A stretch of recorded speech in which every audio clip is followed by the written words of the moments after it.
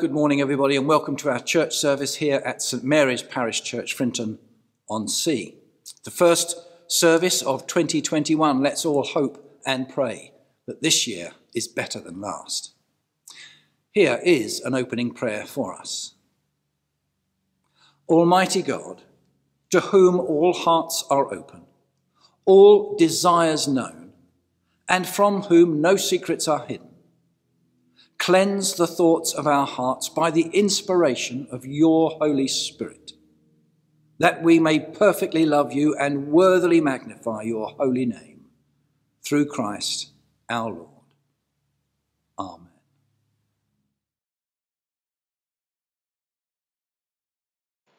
Good Ground by Malcolm Guite.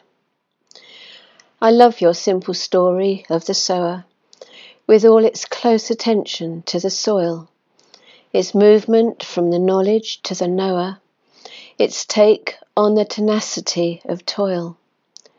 I feel the fall of seed a sower scatters, so equally available to all. Your story takes me straight to all that matters, yet understands the reasons why I fall. O deepen me where I am thin and shallow. Uproot in me the thistle and the thorn.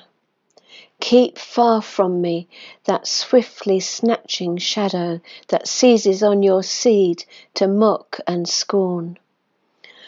O break me open, Jesus, set me free. Then find and keep your own good ground in me.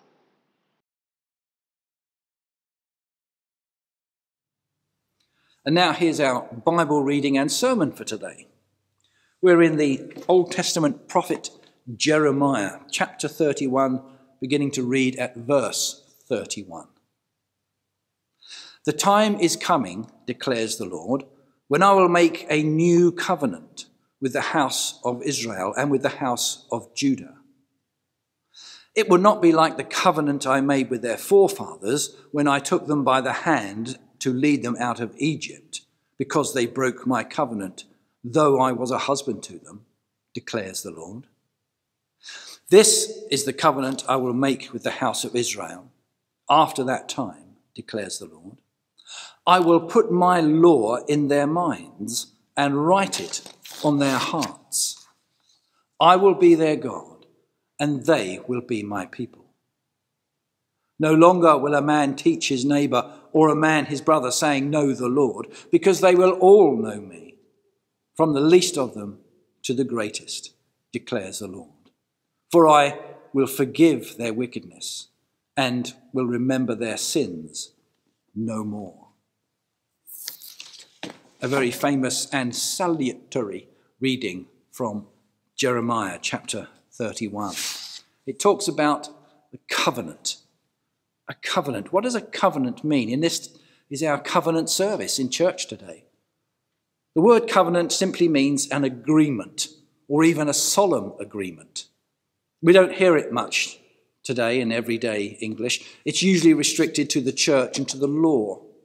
In church, we use the word covenant to mean the solemn agreement between God and his people. The first covenant that was formed is found in the book of Genesis and was made by God to Noah. The waters of the great flood subside, and in this first covenant, God promises never to destroy life on earth again. The sign of this covenant will be the rainbow. Whenever we see a rainbow, we remember God's love of life and vitality, and his promise never to wipe it out. Over time, however, the people forgot their side of the bargain and failed to worship and to honor God. So God again made a covenant, this time with Abraham. Abraham is told that he will be the father of many nations and that kings will come from him. He is told that this covenant will be an everlasting one between God and the descendants of Abraham. The sign of this covenant is not a rainbow in the sky but a physical mark in male flesh, circumcision. When we talk about a covenant service, we often talk in terms of our renewing our covenant, but it is not. The new covenant, like the old, is God's choice, not ours.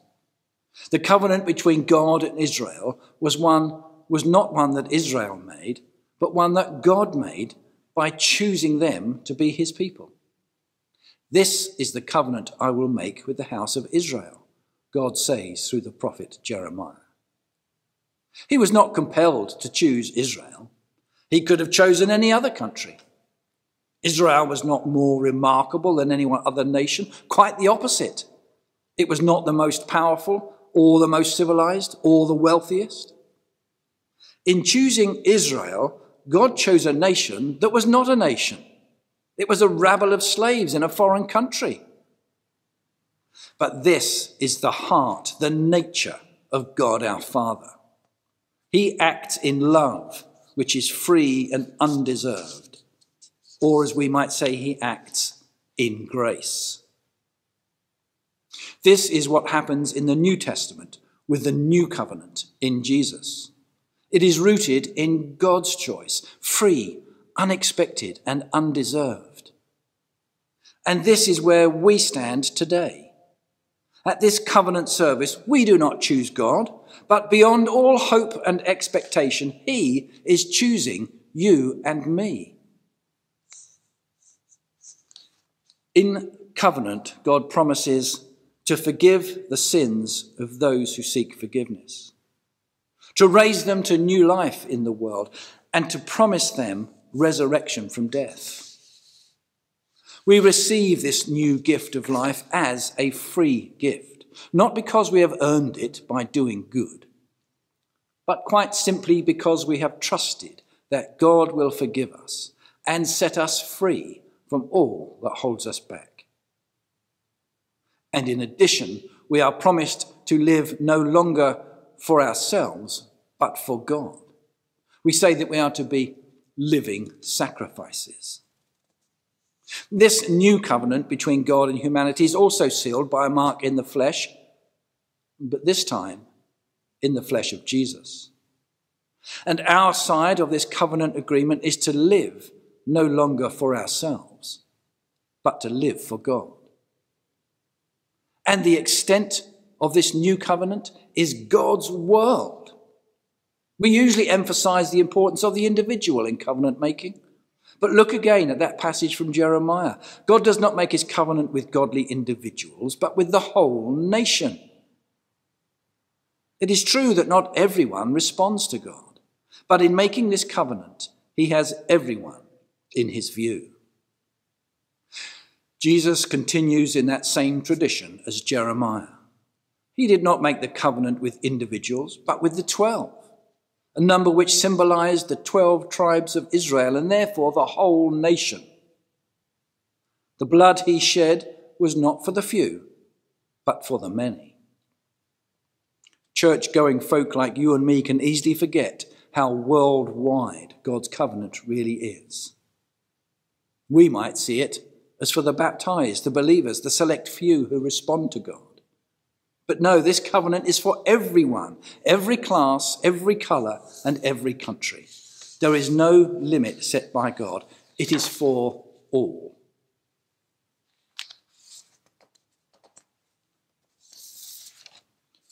Our covenant with God, then, is not a gospel of good works, not something we do, but a gospel of grace. It is what God does. It is not a gospel of trying to please God but a gospel of coming to God for His strength and His mercy. That is why, whatever our circumstances, we can make this covenant of God our own by giving ourselves to Him, trusting in His promises and relying on His grace to all of us. Amen.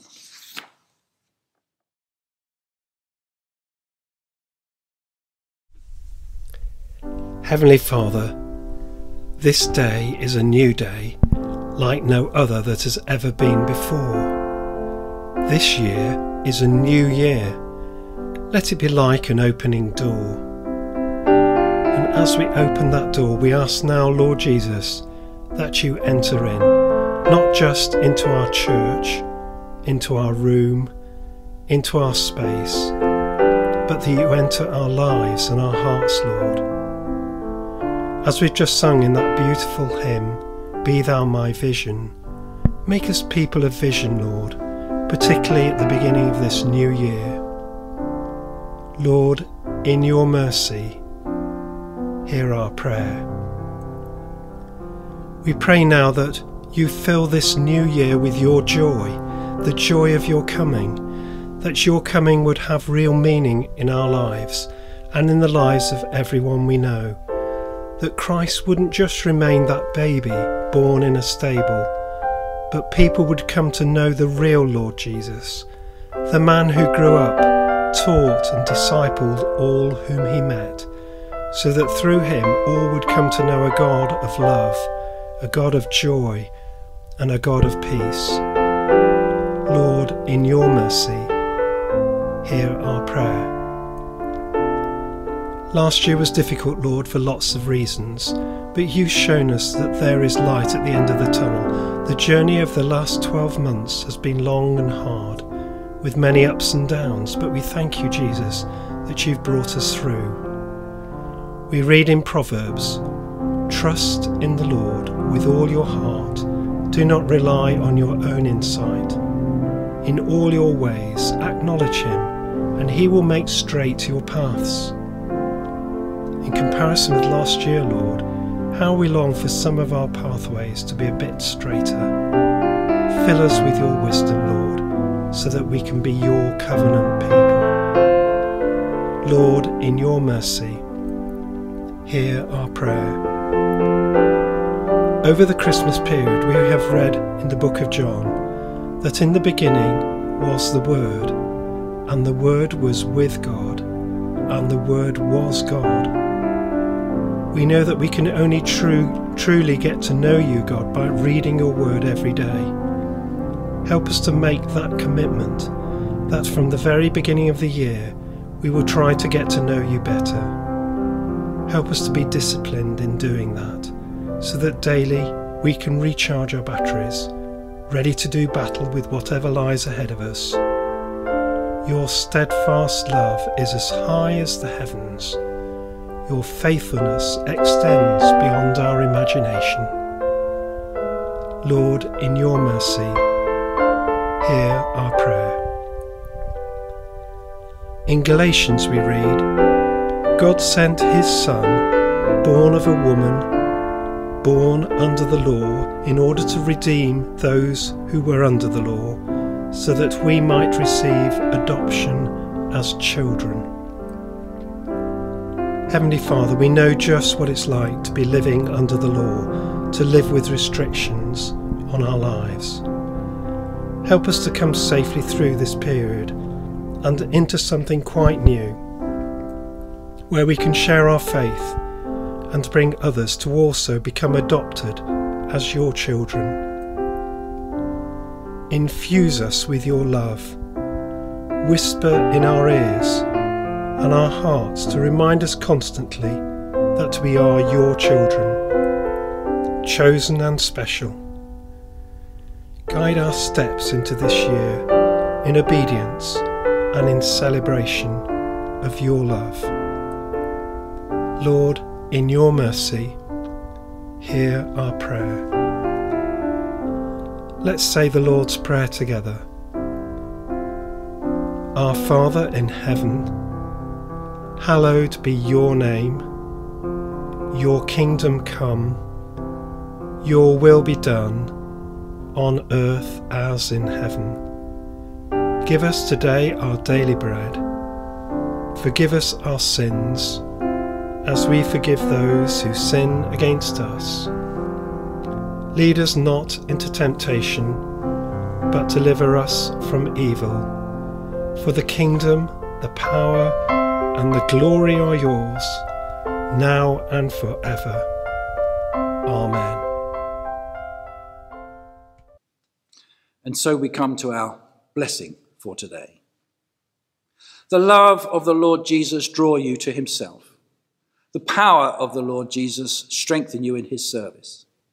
The joy of the Lord Jesus fill your hearts.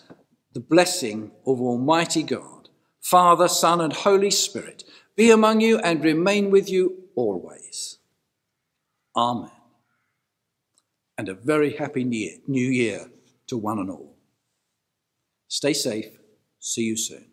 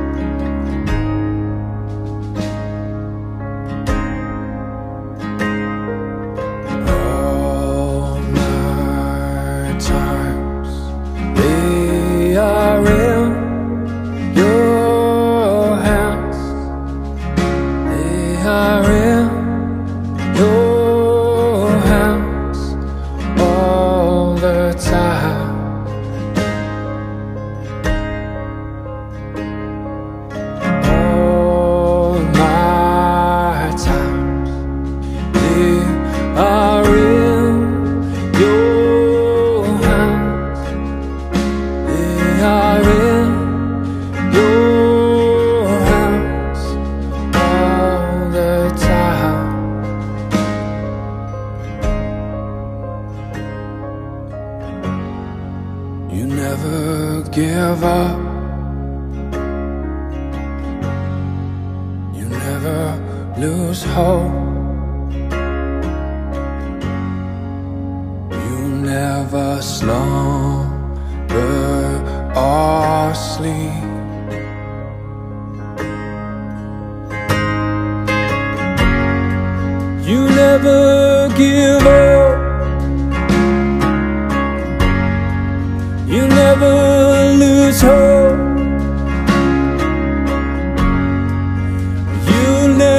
never